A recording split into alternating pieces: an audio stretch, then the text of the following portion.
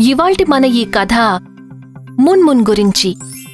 తను వాళ్ళ అమ్మ నాన్న అలాగే తన నాయనమ్మలతో కలిసి ఒక చిన్న ఊర్లో ఉండేది. మున్మున్ వాళ్ళ నాన్నగారు బట్టలు కుట్టేవారు. అతను రాత్రి పగలు బాగా కష్టపడుతూ ఉండేవారు. కాని పెద్దగా సంపాదించలేకపోయేవారు. అయినా సరే వాళ్ళంతా సంతోషంగా ఉండేవారు. ఊర్లో వాళ్ళంతా దయచేసి వినండి. వినండి వినండి వినండి. ఒకరోజు అక్కడి మహారాణి గారు పిల్లలందరి కోసం ఒక పెద్ద పార్టీని ఏర్పాటు చేశారు. ఎందుకంటే ఆ రోజు వాళ్ళ అబ్బాయి అలాగే ఆ రాజ్య రాజకుమారుడు పుట్టినరోజు కాబట్టి. వినండి వినండి వినండి. ప్రజలందరూ దయచేసి వినండి. మన ప్రియమైన రాజకుమారుడికి ఇవాళ పన్నెండు ఏళ్ళు నిండాయి. ఈ సంతోష సమయంలో మహారాణి గారు ఒక పెద్ద పార్టీని ఏర్పాటు చేశారు. అది వచ్చే నెల ఒకటో తారీఖున ఉంటుంది. మన సామ్రాజ్యంలో ఉన్న పిల్లలందరూ ఆ పార్టీకి ఆహ్వానితులే. తప్పకుండా రావాలి తప్పకుండా రావాలి తప్పకుండా రావాలి. ఏ రాజమహల్లో పార్టీయా? ఇంతకన్నా మనకేం కావాలి చెప్పు? ఈ పార్టీ మన జీవితంలోనే చాలా స్పెషల్ పార్టీ అవుతుంది. నువ్వేం వేసుకుంటావు? మా నాన్నగారు నాకు ఒక బంగారు రంగు గౌను కొన్నారు. నేను దాన్నే వేసుకుంటాను. ఇక నేనేమో నాకు బాగా ఇష్టమైన రెడ్ కలర్ గౌన్ వేసుకుంటాను. నువ్వేం వేసుకుంటున్నావు మున్మున్?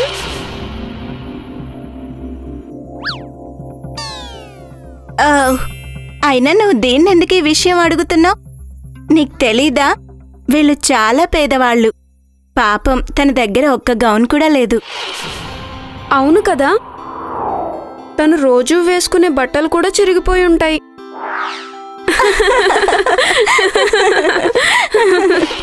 ఏమైంది మున్మున్?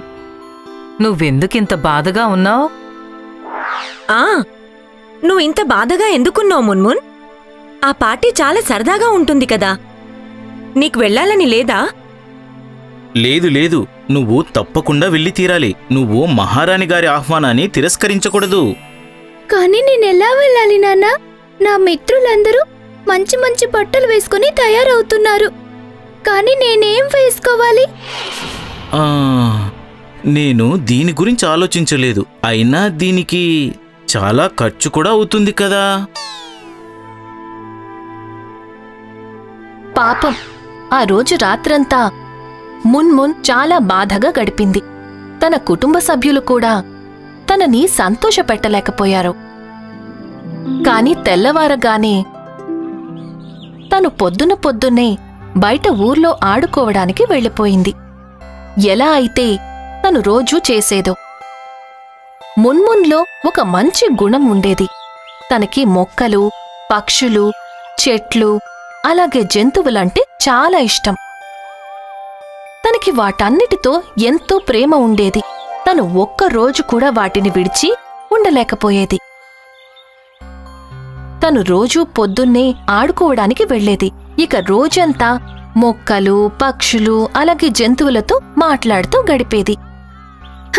హాయ్ మిత్రులారా! మీరంతా నాకు ఎంతో ఎంతో సంతోషాన్నిస్తారు.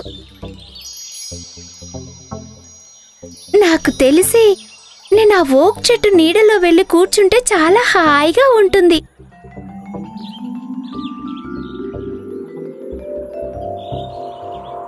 ఇక్కడ ఎంత బాగుందో.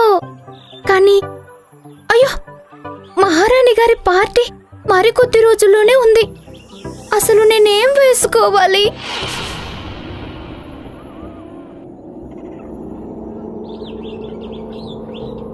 ఇది అసంభవం. నా నీడలో ఉన్న చిన్నపిల్ల ఏడవకూడదు.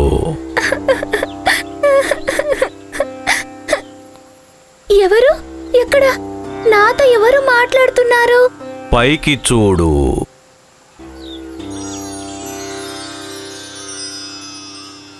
చెట్టు అది నువ్వేనా? నువ్వు నాతో ఎలా మాట్లాడగలవు?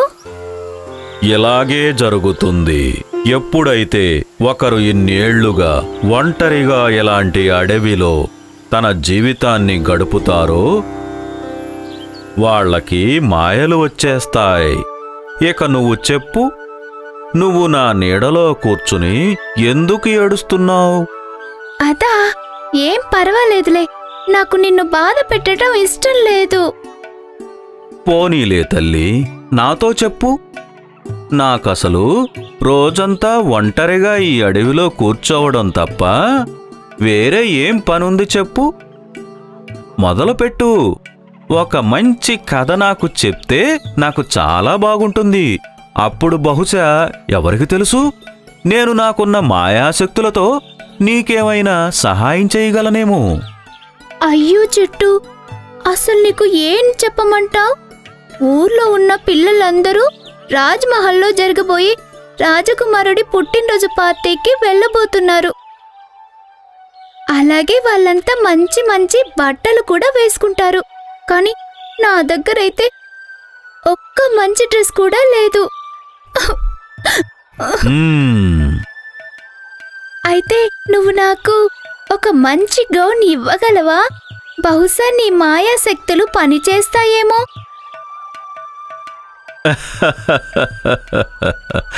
నిజంగానే పాపా నువ్వేమనుకుంటున్నావు? నువ్వేమైనా సిండ్రిల్లావా? అలాగే నేనేమైనా గుమ్మడికాయ దేవతనా? కాదు నేను అటువంటి మాయలేమీ చెయ్యలేను. ఓ ఏం పర్వాలేదు. పోనీలే ఇక నేను ఇంటికి వెళ్తాను. ఆగు పాపా నేను ఆ దేవత చేసినట్టుగా ఏ మాయలు మంత్రాలు చెయ్యలేకపోవచ్చు. కాని నేను నీకు ఒక విషయం చెప్పగలను. ఈ అడవి మొత్తం ఒక మాయ లాంటిదే నువ్వు దాన్ని అనుభవించట్లేదా? నువ్విక్కడికి రోజూ వస్తావు కదా? ఇక్కడ ఉన్న ప్రతి వస్తువు ఈ చెట్లు చేమలు ఇక ఈ పక్షులు జంతువులు వీటన్నింట్లోనూ ఒక రకమైన మాయ ఉంది. అలాగే ఒకవేళ నువ్వు చక్కగా సహాయం అడిగితే అప్పుడు ఇవన్నీ కలిసి నీకు ఖచ్చితంగా సహాయం చేస్తాయి. ఏంటి?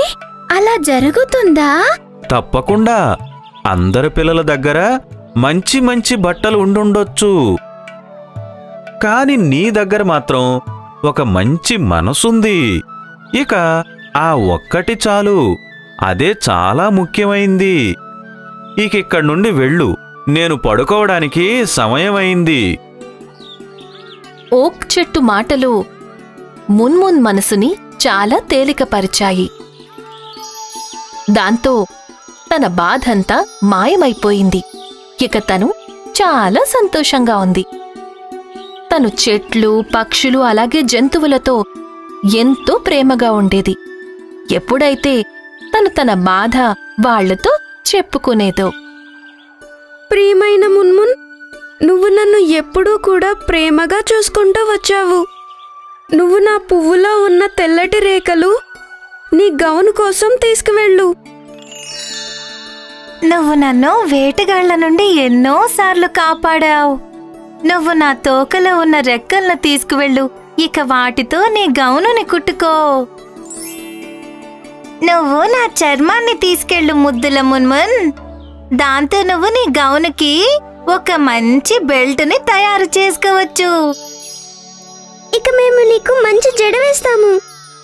మేము నీ అందమైన జుట్టుని ఇంకా అందంగా మార్చేస్తాము. ధన్యవాదాలు. మీరిచ్చిన ఈ అమూల్యమైన బహుమానాలకు నేను రుణపడి ఉంటాను. కానీ వీటన్నింటితో నేను గౌన్ ఎలా కుట్టుకోను? వీటన్నింటినీ మీ నాన్నగారి దగ్గరకు తీసుకువెళ్ళు. నువ్వు దిగులు పడకు. ఓక్ చెట్టు మాయ నీకు తోడుగా ఉంటుంది.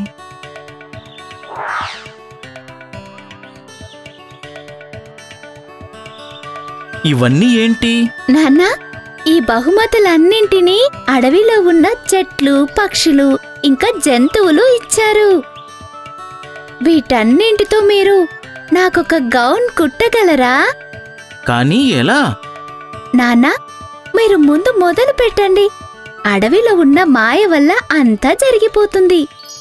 నాకసలు ఏమీ అర్థం కావట్లేదు. కానీ నువ్వు ఇంతలా చెప్తున్నావు కాబట్టి నేను ఒక్కసారి ప్రయత్నించి చూస్తాను.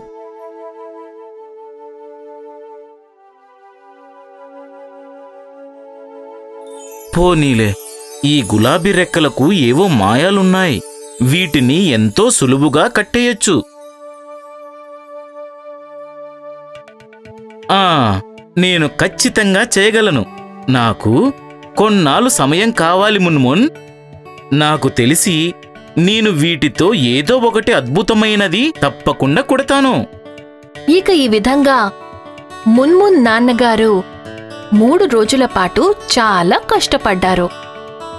అతనికి ఎప్పుడు ఏ అవసరం వచ్చినా మున్మున్ వెంటనే అడవికి పరిగెత్తుకుంటూ వెళ్ళి తన మిత్రుల దగ్గర నుండి అడిగి తీసుకొచ్చేది. మూడు రోజుల తరువాత గౌన్ పూర్తిగా సిద్ధమైపోయింది. ఆ రోజు రాత్రి పార్టీ కూడా ఉంది. ఇక మున్మున్ తయారవ్వడం మొదలుపెట్టింది. ఆహా, నాన్నా ఈ గౌన్ చాలా బాగుంది. నేనిప్పుడు దీన్ని వేసుకోవచ్చంటారా? ఆ తప్పకుండా మున్మున్. నా దగ్గరికి రా. నేను నీకు ఆ గౌను వేస్తాను.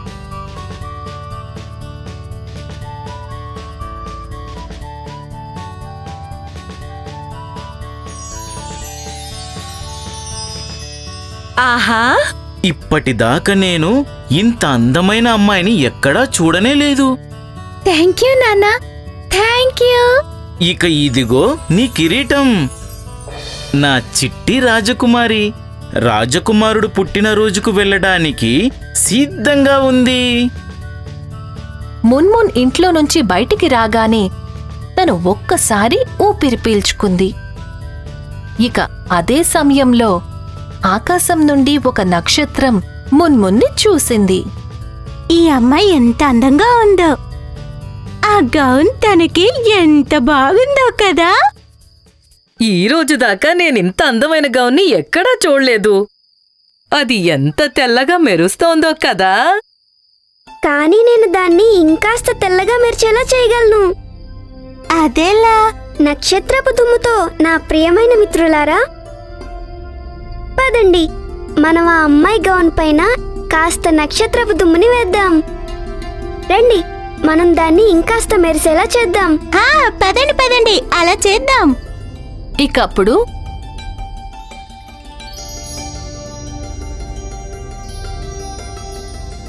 మున్మున్ పార్టీకి చేరుకున్న తరువాత ఓ ఈ అమ్మాయి ఎవరు?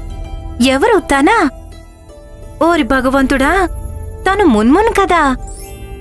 ఆ గౌన్ని చూసారా? అది చాలా ఖరీదైందేమో అనిపిస్తోంది. వాళ్ళ నాన్న పేదవాడు కదా ఎలా కొనుంటాడు?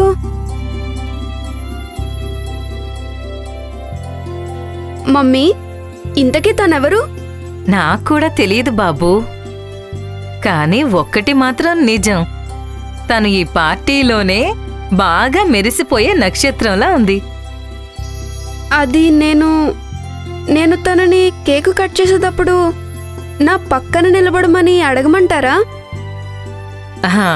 తప్పకుండా బాబూ.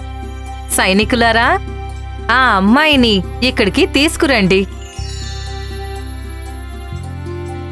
అందమైన అమ్మాయి. నువ్వు మా రాజకుమారుడితో పాటు ఇక్కడ నిలబడతావా? అదే అతను కేకును కోసేటప్పుడు. అలాగే తప్పకుండా మహారాణి. ఇక ఆ విధంగా ఆ రోజు మున్మున్ జీవితంలోనే ఒక అందమైన రోజుగా మారిపోయింది. రాజకుమారుడు కేక్ని కోసేటప్పుడు తను అతని పక్కనే నిలబడి ఉంది. అయితే ఒకవేళ మీ మనసు మంచిదైతే అప్పుడు మీ జీవితంలో కూడా ఏదో ఒక మాయ తప్పకుండా జరుగుతుంది. ఎలా అయితే మన ప్రియమైన మున్మున్కి జరిగిందో అలా.